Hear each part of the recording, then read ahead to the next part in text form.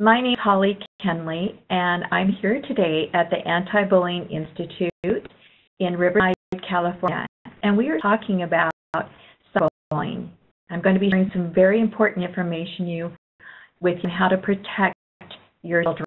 Before we get started, I just want to remind all of us is that when we talk about protection, it's human nature that we don't want to navigate from a place of fear but we have to also be realistic is that when we put protective measures into place, we are reducing the risk of cyberbullying harm.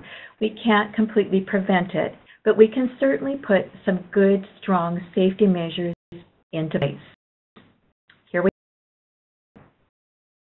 thing to do is we adults and parents and guardians we need to educate ourselves and our children about some common sense safety measures when I'm with professional audiences and lay audiences and parents and guardians, I often say to them, I want to think for just a minute how much time we spend we're preparing our children to drive.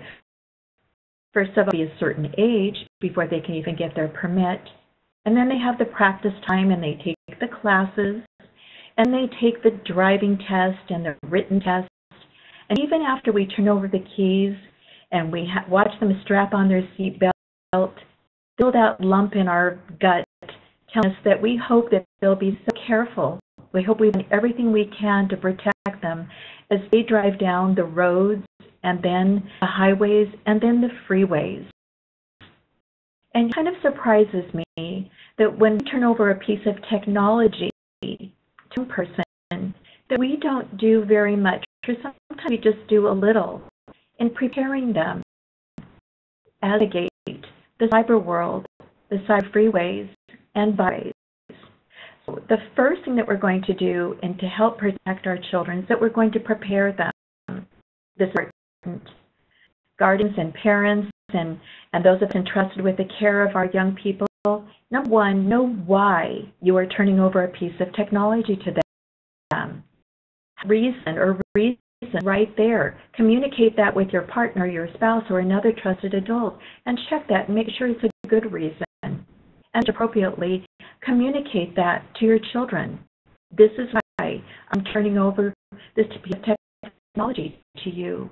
And the second thing is to know its purpose, how to be used. And that as well to your children know some have some rules and some expectations and some guidelines about when it's to be used, how much is to be used, and where to spend time on that. And by just a reminder that most social networking sites require that young people are 13 years old before they go on that social networking site. We need to do is prepare children. The thing is we need to supervise and monitor our children. Many came to parent groups and audiences. I'm asked, Holli, right, to super monitor my children. Do I have a right to invade their privacy, either online or off? Inside, I'm screaming, yes, you do. But all seriousness, in all seriousness, I say very respectfully, is that we have a responsibility to protect our children. And so with that, we need to supervise and monitor them. And in just a few moments, I'm going to show you how to do that very respectfully so that we're not, quote unquote, invading their privacy. Now, two suggestions. One, and this is from the experts in the field, that there should be designated spaces for the technology. Technology, cell phones, laptops, computers should be kept in a common area that be the living room, that might be the kitchen office area, that might be the den, consoles, everything, all screens should be in a common area. Why? A couple reasons. One, because it's easier to supervise and monitor. Number two is that we know that young people who are their cell phones in their bedrooms are staying up late at night and then from other screen dangers, they are not getting the sleep that they need.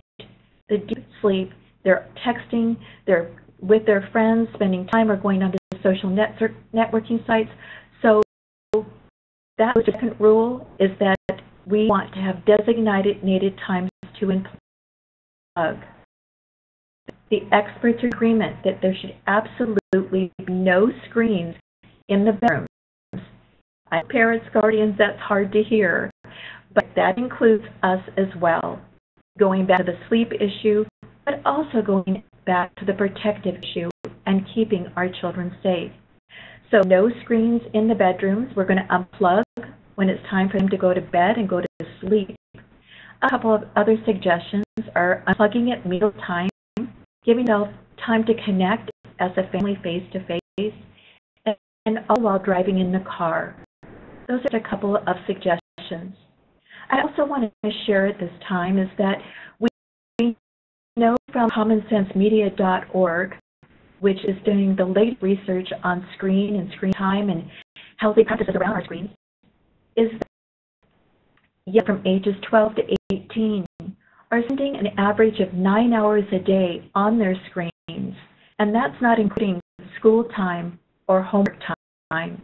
Young people ages 12 to 18 are spending about six and a half to seven hours a day on their screens, not including homework time and school time and adults are spending about the same amount of time, six, seven hours a day, including their work time.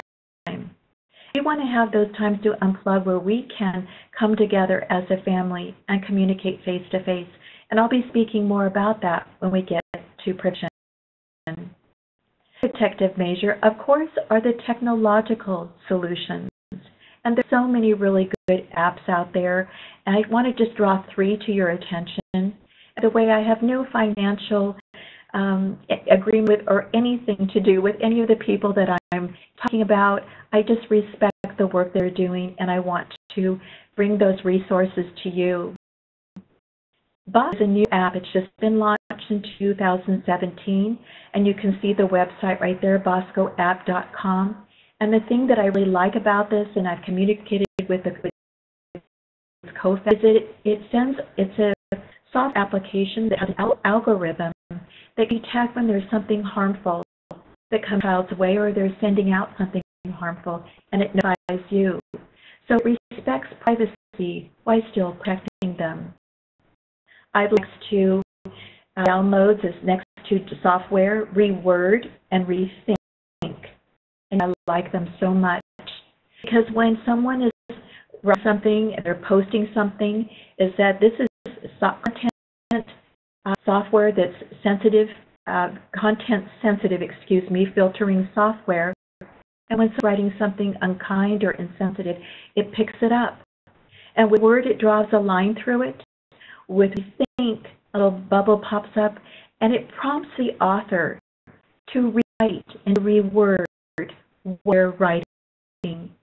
Initial studies that over 90%, 5% of the time have changed what they're writing.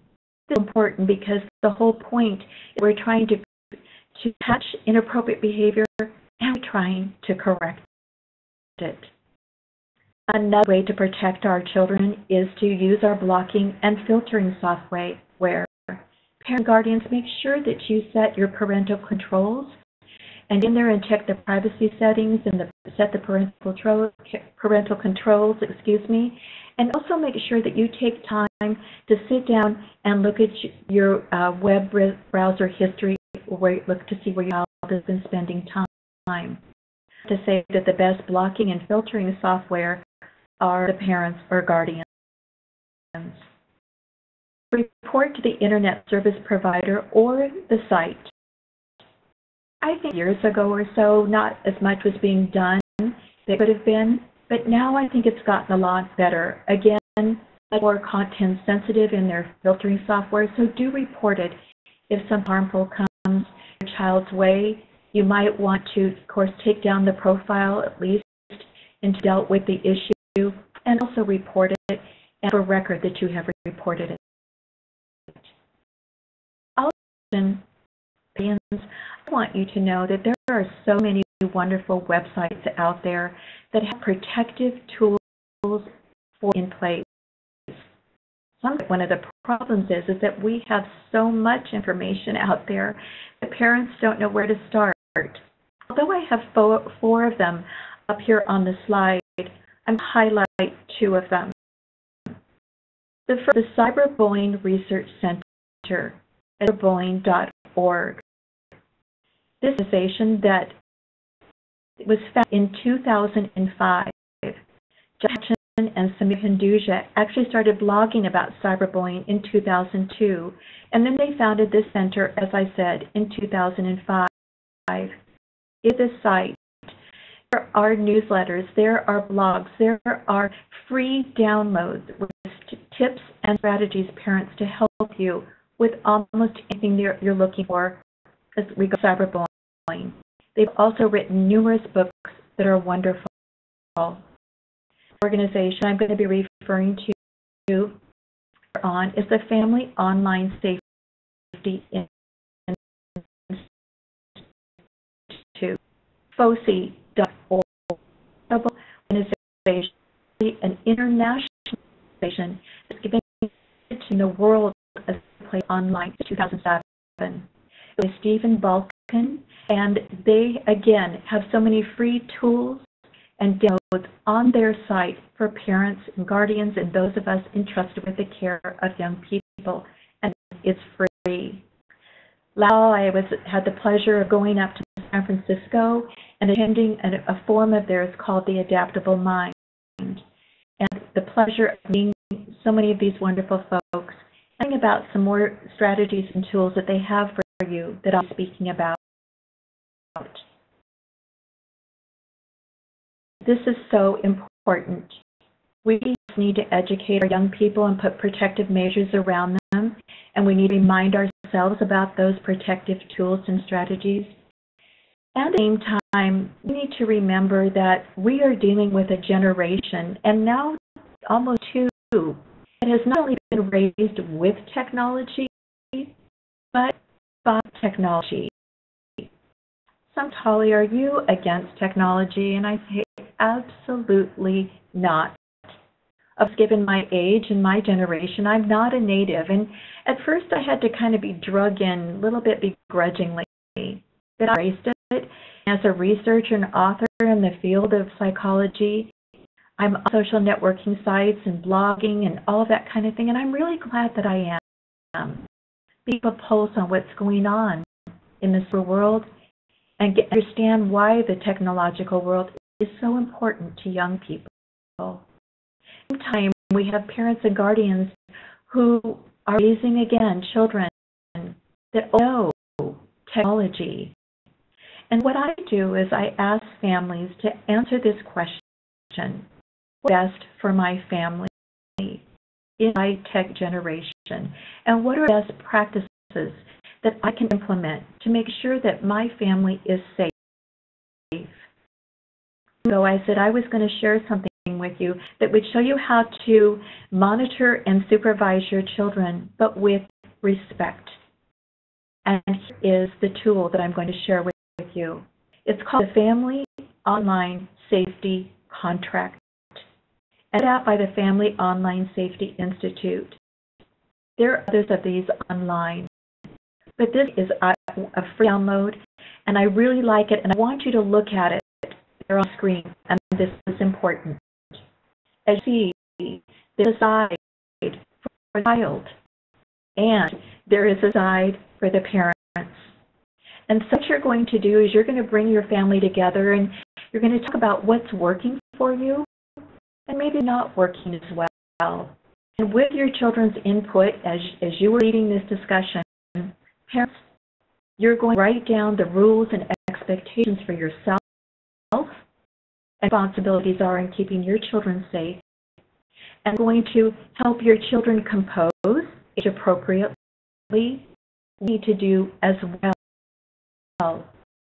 what expectations are and what their guidelines are. I can't see it very well in the on this but number nine speaks specific to what I was talking about a few minutes ago, where it says that you as a parent are going to sit down and monitor on a weekly basis, maybe twice a week, and to the social networking sites, check their texts, check whatever you've allowed them to do.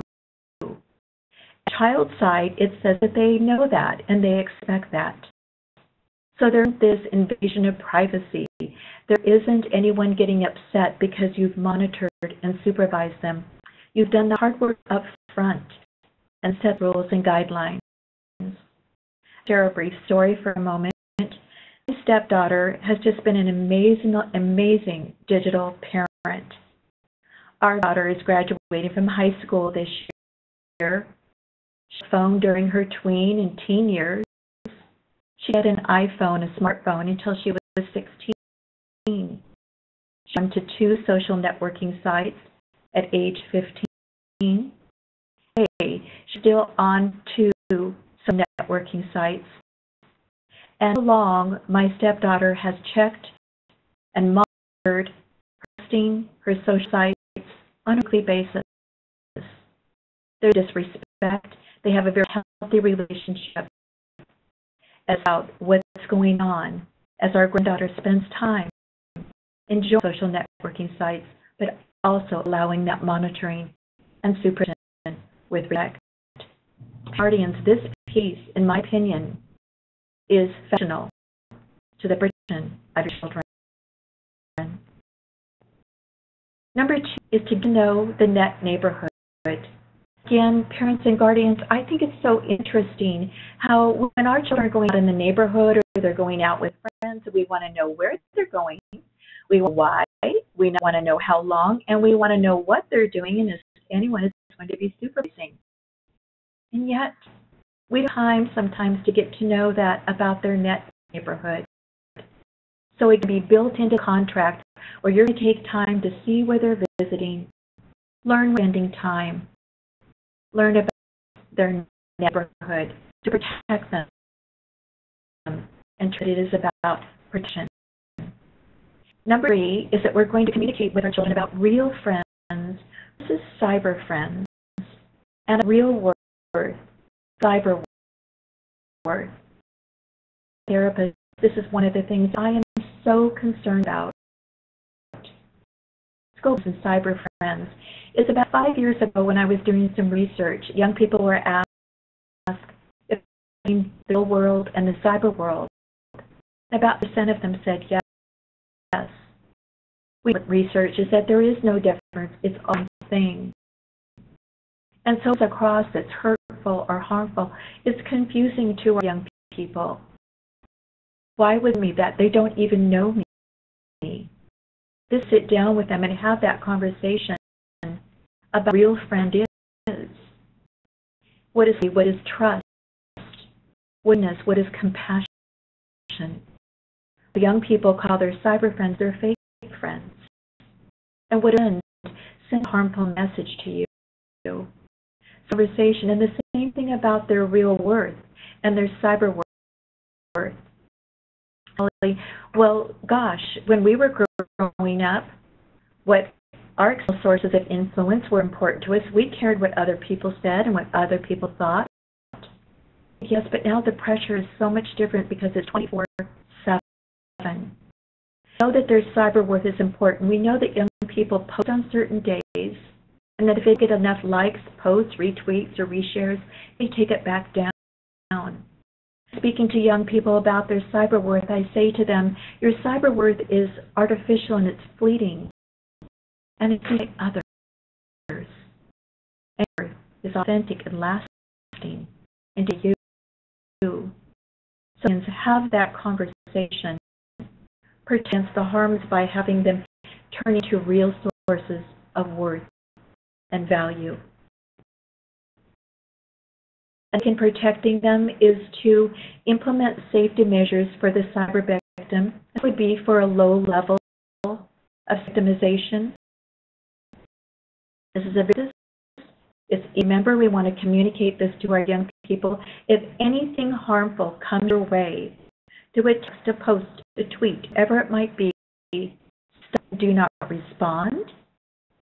Say don't do it. And if you can, print it out or keep a record of it and share it with a trusted adult. And it's in guardians, that might mean that you share it with legal authorities if it's serious in nature. So once again, a very common protective tool. Stop and do not respond. Save and don't share it. Uh, and print it out if you can and share it with a trusted adult. Also, very important to thank your child or the young person for coming to you and sharing the information with you. If it's a low level of cyberbullying, implement some reasonable consequences. Foremost, find out why this cyberbully that he or she did, find the motivation was, and then get contract into place.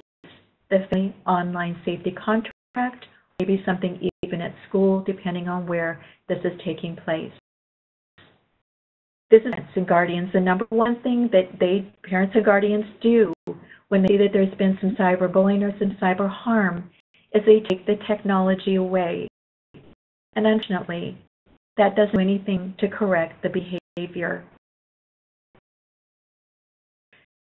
As we get peace, and this is really important about protection, as I said at the beginning, is that this is not the responsibility of just one person, it's one group to address this. We the culture of cyberbullying, it just isn't among young people, it's everywhere. So we have to look at this as a team responsibility. I'm speaking a lot to parents and guardians. I do want to add one other piece that is super important. And the guardians or any facilitator, adult leader can take part of this wonderful program. It's called How to Be a Good Digital Parent. And it's put out by Family Online Safety Institute. This is a free program and I gave this a couple of months ago to a PTA meeting at a local elementary school in the area that I live. What you do is go online to the Family Online Safety Institute, FOSI.org, and you'll sign up and they will email you all materials. This is how to be a good digital parent. And what I love about this is seven simple steps. They'll send you materials, they'll send you the PowerPoint, they'll send you the leader's guide, the script, everything you need. It only takes about 20 minutes to a half hour, and then if you want time for questions and answers, you can carry it into that and send you a little video telling you how to do the presentation. So get together with a PTA group, get together with a youth group, a church group, and start helping other parents be good digital parents. We're in this together. And by the way, the Family Online Safety Contract is part of the seven steps. Responsibility, I've talked a little bit about this. We need to remember to communicate with our youth. Sometimes sign an acceptable use policy at school or other places, but we need to communicate that with them that with this iPad or with this iPhone or with this laptop, that that gives you so much freedom and wonderful. But with that, those rights and those freedoms come risk. With that risk is to show responsibility and accountability. Just like you do when you're allowed to drive. You have that preparation and you get your license, but still you have to be responsible and accountable for your behaviors when you're driving. It's true. You're responsible and accountable for your behaviors when you're online. Thirdly, this is really important. When trouble happens, when as a child, we have one of these horrific events that are happening at schools and other places, it seems like we want to sometimes point the finger and parents aren't doing enough or the schools aren't doing enough or the law enforcement is not doing enough. And once I just want to say that we all have to come together and to do our piece and youth groups and clubs and camps materials that I'm going to share with you. It will make it so easy for you to help out, for you to begin facilitating some programs and getting it from your vantage point, from your lens. The first share with you is called Our K-12 Digital Citizenship Curriculum. Out by Common Sense Media, Common Sense Education, their website, commonsense.org. Incredible. As a teacher, I look at these lesson plans and it is a teacher's dream come true.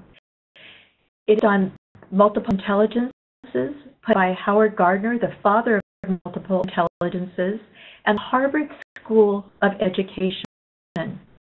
Educators who may be listening, teachers, counselors, administrators, this is aligned with the Common Core. Are ready to go. Again, it's a teacher's dream, a facilitator's dream come true. And here's the important piece it's K 12.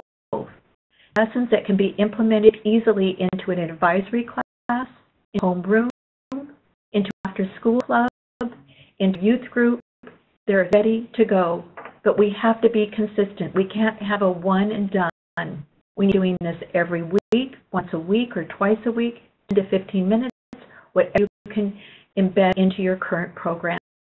The second program is Words Wound, Delete Cyberbullying, and Make Kindness Go Viral. This is by the Cyberbullying Research Center. I read the book from cover. The book does cost, but all the other materials are free downloads. The curriculum is free. In my opinion, I've talked with Hinduja and it can cross most grade levels, but I think in particular it's really well suited for intermediate, tween, through middle school, teen curriculum. A beautiful program that can easily be embedded in an advisor class, a homeroom, youth clubs, and so on getting to the K-12 digital citizen uh, curriculum, that is all a free download. Another search, and I highly recommend, is called Don't Laugh at Me. The adult program based on social emotional learning.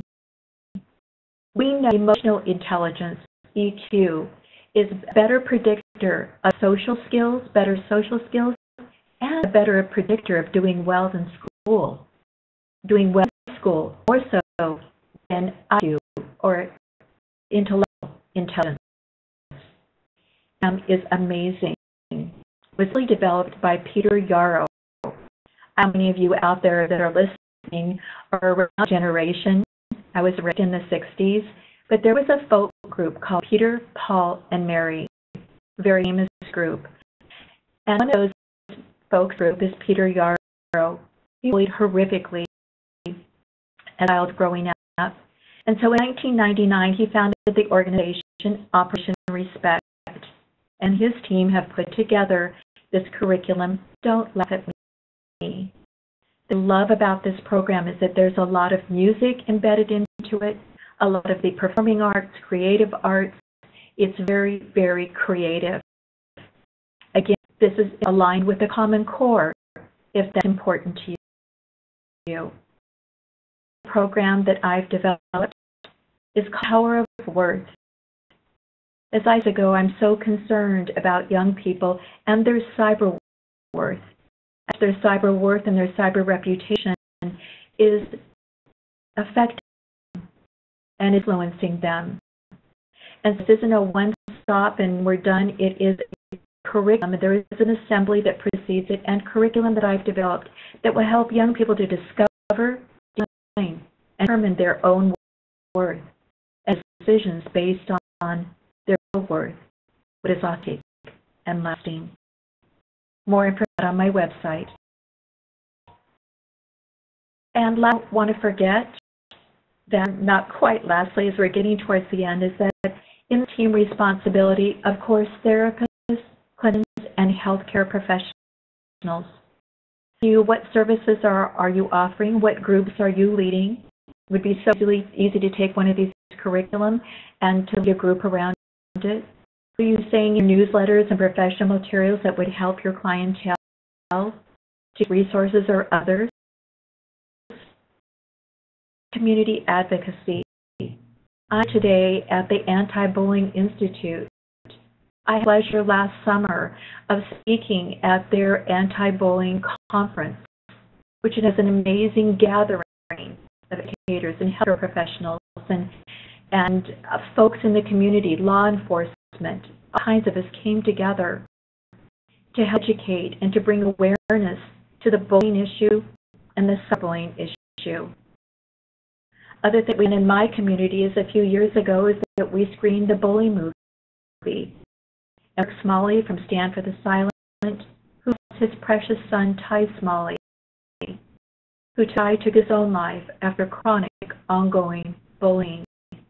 And the father has made it his mission to go out and to speak to schools. He came to our area and he gave six assemblies. He spoke to a community open forum, and then we screened the bullying movie and he did a Q&A afterwards. Chapters of Stand for the Silent all across this nation and internationally provides materials for ongoing, sustained change and support with this issue. And of course, the importance of law enforcement and policymakers. We do that and reminder that as a team approach, we all need to come together and implement programs. We'll build up the policies and law that we have on the books because of the programs that doesn't help those to come to fruition. And so remembering that it is a team approach, we're in this together.